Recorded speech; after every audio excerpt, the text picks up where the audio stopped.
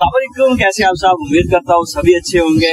आपकी दुआओं से अल्हम्दुलिल्लाह मैं भी ठीक हूँ। शुक्र है अल्लाह का। सो आज हमारे साथ अली भाई जो कि ऊबर का काम करते हैं।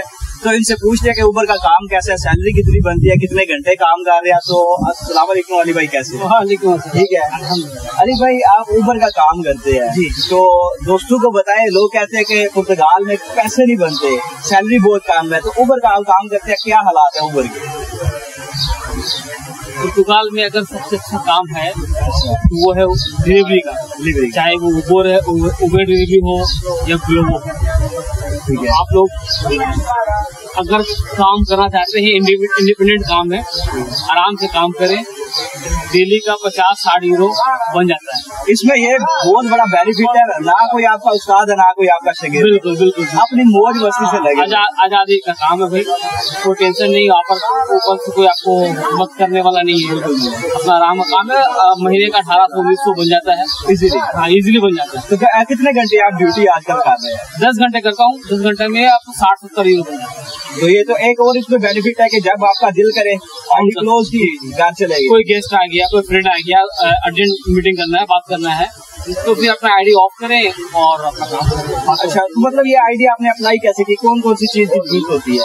कुछ मुश्किल नहीं पहले तो टीआरसी टीआरसी की ज़रूरत पड़ती है। कार्ड लाजमी है? हाँ? कार्ड लाजमी कार्ड के बगैर ये नहीं मुमकिन नहीं है। मैंने सुना था उबर के लिए तो कार्ड लाजमी चाहिए लेकिन जो है ग्लोबो उसके लिए कार्ड नहीं चाहिए। नहीं उसके कार्ड उसके लिए नहीं चाहिए। उबर के लिए लाजमी चाहिए। दोनों में से बेस्ट कौन सा है? उबर बेस्ट है।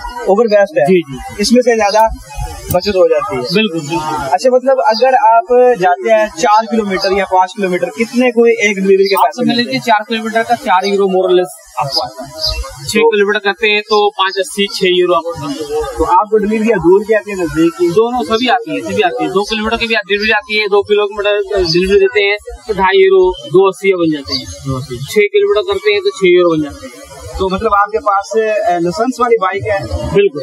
जो दूसरे मतलब जिनके पास लाइसेंस नहीं है। जो लाइसेंस नहीं हो वो इलेक्ट्रिक स्कूटी में भी काम कर सकते हैं। बस शर्त ये है कि उनका स्कूटी हो लाइसेंस लेके लेने नहीं लगते। नो लाइसेंस नो इंश्योरेंस तो इसमें मतलब बाईसाइकिल हो गया इलेक्ट्रिक बाइक उसके बाद अगर आपके पास लाइसेंस है तो आप बाइक बाइक मेरे ख्याल में लाइसेंस वाली बाइक ज़्यादा बेस्ट रहती है क्योंकि साइकिल पे अभी दूर की डिलीवरी आ जाए तो तकलीफ़ होती है। बहुत ज़्यादा टेंशन बन जाती है। सारा दिन बंदे का टाइम काफ़ी ज़्यादा जाया जाता है। बिल्कुल। ठीक हो गया। तो इसमें टैक्स का क्या सिलसिला है? टैक्स सिलसिला ये ट्वेंटी थ्री परसेंट आपको टैक्स देना पड़ता है। ईवा पहले पहला साल जो है बारह महीने का ईवा फ्री है।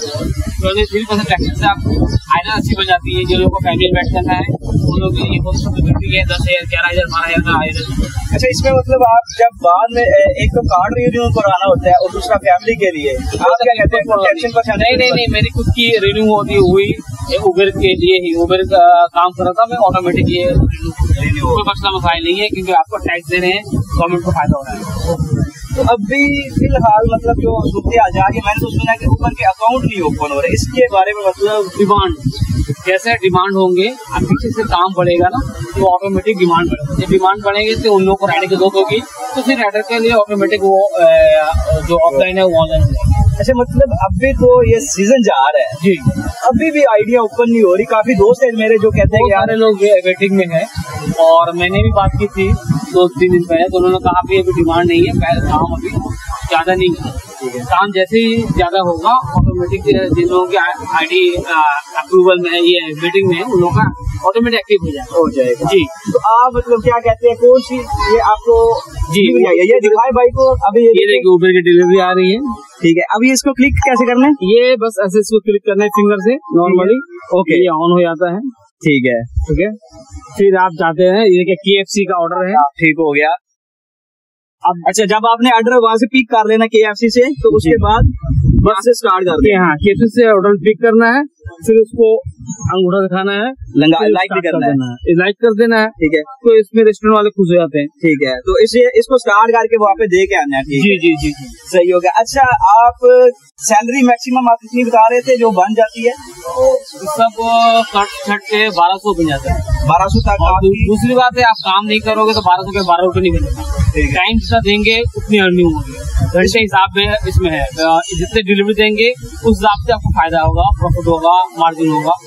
अगर दस डिलीवरी देते हैं तो हिसाब तक तीस यूरो बन जाते हैं। अच्छा इसमें आपको टिप वगैरह भी होती है? टिप भी देती है कैश टिप भी मिलता है और ऑनलाइन पेमेंट टिप भी होती है। पंद्रह यूरो बीस यूरो हफ़्ते का टिप मिल जाता है। मिल जाता है। इसमें तो मतलब फिर एग्रीकल्चर और रेस्टोरेंट के जो काम है उनसे तो फिर बेहतर है ये बेहतर अपना काम है आपके पीछे कोई बोलने वाला नहीं है जैसे में ये टारगेट वो टारगेट इसमें कोई टारगेट नहीं। जब मन क्या काम करा जब नहीं किया मैं ढाई साल से कर रहा हूँ कंटिन्यू ढाई साल ढाई साल से मैं कर रहा हूँ मुझे इससे बेहतर कोई काम नहीं लगा।